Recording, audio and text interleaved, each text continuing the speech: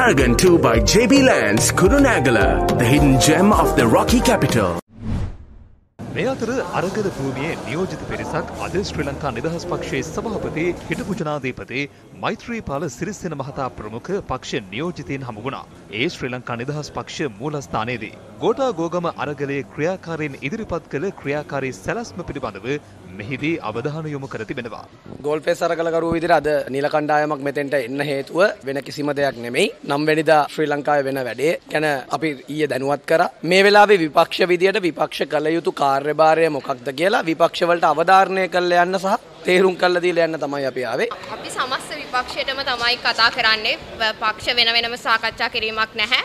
ඉතින් අපි පැහැදිලිවම කිව්වා ඒගොල්ලෝ ඉදිරිපත් කර යෝජනා සමග අපි ශ්‍රී ලංකා නිදහස් පක්ෂයේ විදිහට හෙට අපේ විශේෂ රැස්වීමක් තියෙනවා. එහිදී අපි සාකච්ඡා කළා අපි කොහොමද ඒගොල්ලන්ගේ වැඩපිළිවෙලට එකතු වෙන්නේ කියන තීරණය ලබා දෙන්නම් කියන එක තමයි අවසානයේ තීරණය වුණේ. එළඹෙන 9 වෙනිදා ශ්‍රී ලංකා නිදහස් පක්ෂයේ ඔබතුමාලා කොහොමද මුණ දෙන්නේ? අපි සම්බන්ධව සාකච්ඡා කරනවා ඉතාම ඉක්මනින් දවසක් විතර අපිට කියන්න පුළුවන් 9 වෙනිදා අපි ගන්න තීන්දුව මොකක්ද කියලා.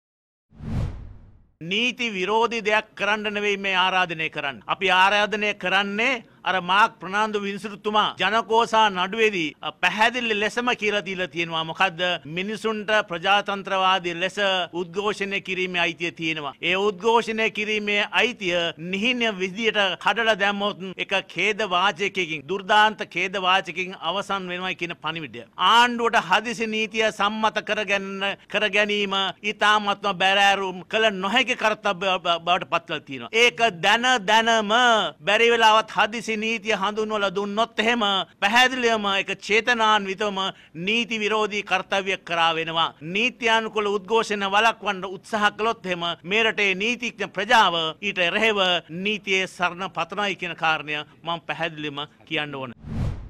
හෙට දවසේ සියලු මහා සංඝරත්නය කොයි තරම් බාධක අවහිරතා පැනනගුණත් කොළඹට ඒකරාශී වෙලා පිටකොටුව බෝධීන් වහන්සේ අභියසදී අපේ අකණ්ඩ සත්‍යග්‍රහයක් අපි ආරම්භ කරනවා. අපි කියන්නේ ආණ්ඩුවට අපි මේ නොනවතින අරගලය අවසන් කරන්නේ කොතනින්ද කියලා. ඒ අවසානය මේ රටේ ජනතාවට ජනතාව මේ පත් වෙලා තියෙන විපතින් ජනතාව මුදවා ගන්නා වූ නිමාවකින් විතරයි අපි අපේ ජීවිත තොර වුණත් අපේ ජීවිත කැප කරලා හරි අපේ ඒ හෙට ආරම්භ කරන සත්‍යග්‍රහය අපි අවසන් කරන්නේ කෙලවර කරන්නේ